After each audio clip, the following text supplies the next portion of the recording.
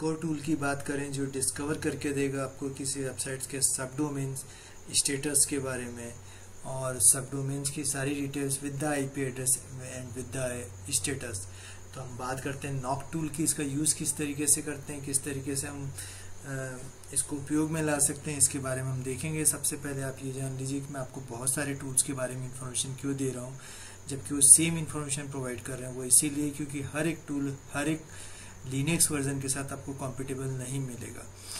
हर जगह ऐसा ऐसा हो सकता है कि कुछ टूल्स कुछ ही प्लेटफॉर्म पर कॉम्पिटेबल हों तो जो टूल्स आपके प्लेटफॉर्म पर चल जाए, आप उसे यूज़ कर सकते हैं।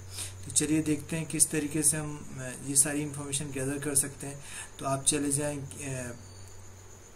अपने गिट क्लोन पर, अपने गिट हब पर और गिट हब पर डालने के, या फिर या फिर आप डायरेक्टली गूगल से सर्च कर सकते हैं।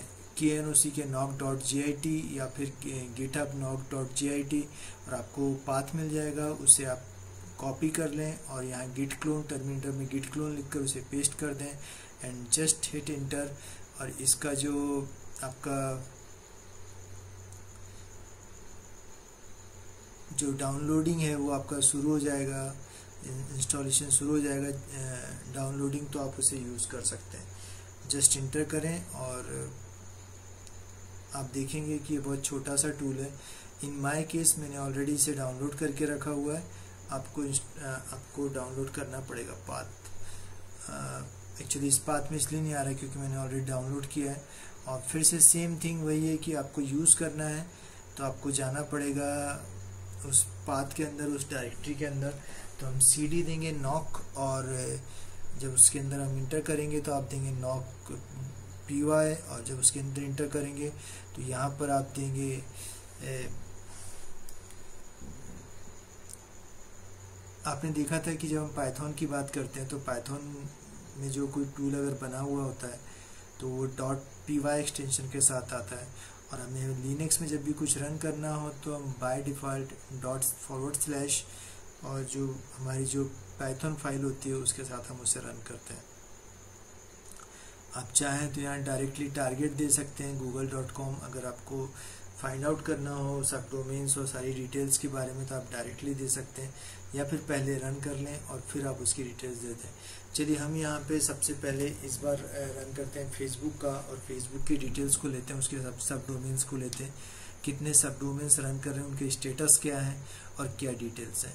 तो चलिए यहाँ टाइप करते हैं फेसबुक डॉट कॉम और जैसे ही आप इंटर करेंगे, यहाँ पर हिट इंटर तो आप देखेंगे यहाँ पे नॉक पी वाई जो है वो ऑन हो चुका है और आपको बकायदा पूरे आईपी एड्रेसेस के साथ शो करेगा कि उनका स्टेटस क्या चालू है।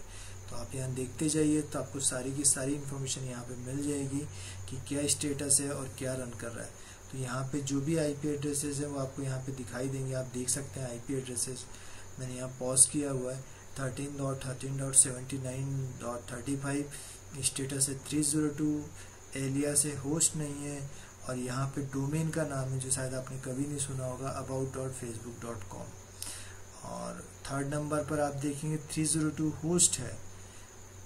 और होस्ट में आपको शो कर रहा है star dot mini dot C ten R dot Facebook dot com ऐसे बहुत सारे डोमेन्स हैं जहाँ पे आप फाइंड आउट कर सकते हैं कि कौन कौन से लूप होल्स हैं। यहाँ आपको सबसे बड़ी बात ये जो आपको शो कर रहा है वो एलिया शो टाइप शो कर रहा है और स्टेटस शो कर रहा है। तो ये इस बात का आप ध्यान रखेंगे आपको दूसरे टूल से नहीं मिलेगा। तो कोई ना कोई टूल कोई अदर टूल आपको कुछ एक्स्ट्रा इन्फॉर्मेशन प्रोवाइड करता ही है जो आपको प्रीवियस टूल में कभी ना किया।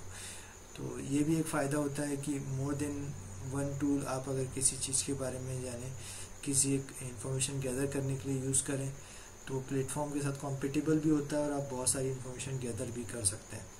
तो यहाँ आप देख सकते हैं इंफॉर्मेशन गैदरिंग ऑन है और ये आपको पूरा शो कर रहा है। कितना समय लगेगा? ये आपकी रैम पर और आपके इंटरनेट की स्पीड पर डिपेंड करेगा।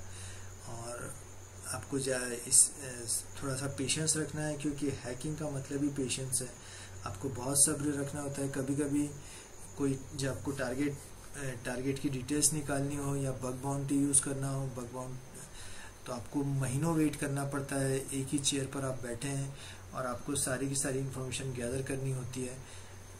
सिर्फ़ आप अपने डेली जो वर्क होते हैं, जो नेसेसरी वर्क है, उनके लिए समय निकालते हैं और फिर आप और आपका computer bug bounter bug bounters के लिए ऐसा ही होता है, घंटों आपको बैठना पड़ता है और सेम हैकर्स करते हैं। तो आपको यही चीज़ें करनी है, आपको ध्यान रखना है कि आपको इस तरीके की इन्फॉर्मेशन गैदर करनी करनी है तो आपको क्या करना आप देख सकते हैं सारे के सारे, जितने भी डोमेन नेम से ये लिस्ट बहुत लंबी है और भी सर्च होगी। मैं यहाँ पे इस वीडियो को पॉज कर रहा हूँ। इस वीडियो को यहाँ पे विराम दे रहा हूँ, वो इसलिए क्योंकि बहुत सारी इन्फॉर्मेशन है। बहुत सारा जो आपका डोमेन्स हैं फेसबुक के काफ़ी सारे डोमेन्स है काफ़ी समय काफ़ी समय लेगा।